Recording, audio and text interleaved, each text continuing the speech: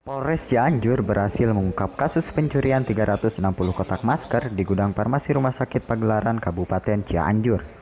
Pasalnya, salah satu pelaku merupakan PNS dan menjadi otak pencurian masker di tengah merabaknya COVID-19. Direktur Utama RSUD Pagelaran, Awi Darwijar mengatakan, terungkapnya kasus masker tersebut berawal ketika pihak direksi mengecek ketersediaan stok masker lantaran ada permintaan dari sejumlah rumah sakit yang kekurangan stok. Begitu dicek, ternyata stok yang ada tinggal 60 kotak.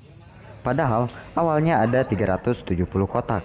Dari situ, pihak RSUD Pagelaran membuat laporan pada PLT Bupati Cianjur dan Polres Cianjur jika stok masker untuk tenaga medis di RSUD Pagelaran hilang. Menurut Awi, ternyata pencurian tersebut bukan yang pertama. Pada Februari lalu, stok masker juga hilang, bahkan jumlahnya mencapai 200 kotak. Tidak butuh waktu lama, polisi berhasil mengamankan empat orang pelaku yakni IS, RN, YHG, dan CR.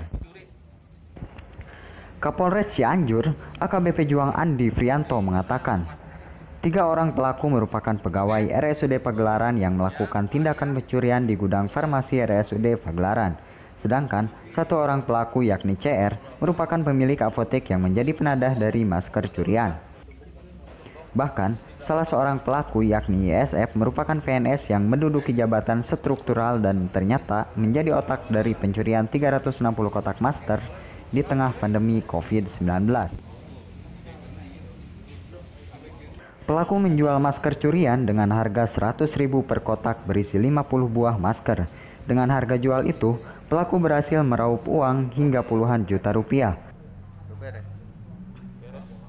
Para pelaku dijerat dengan pasal 363 dan 480 KUHP dan ancaman hukuman 7 tahun penjara. Muhammad Nursidin, Cianjur Express melaporkan.